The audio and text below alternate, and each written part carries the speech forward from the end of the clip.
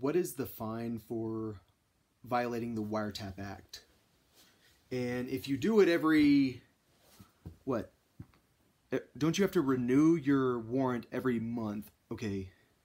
I guess it's written for law enforcement, but I feel like it's also written for corporations. So if Facebook has violated the Wiretap Act that much, like to the point that we like we have a case, we have a list of corporations that say that Facebook somehow hacked them through their web browser.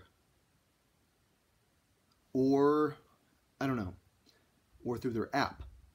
But it's harder to prove through the app because of encryption. But can you break encryption? Inshallah. Everyone wants to break Facebook's encryption.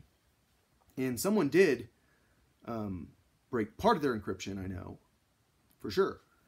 All right, so say that we know that Facebook ha hacks people. And then we go, okay, how much can we find them per person that they basically hack, which is the entire United States. But not really unless they try. But if it's available to you, are you hacked? Hmm.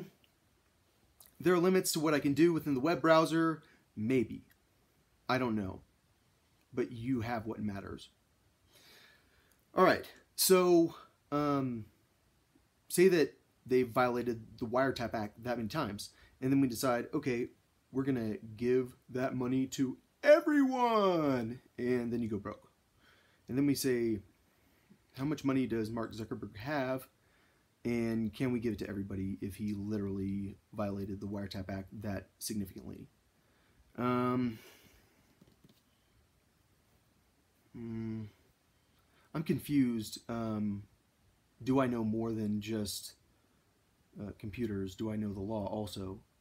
So, um, yeah, I, I, think if we can build a case, I don't know, I, I need a lawyer for a vice president. Keep my fingers crossed.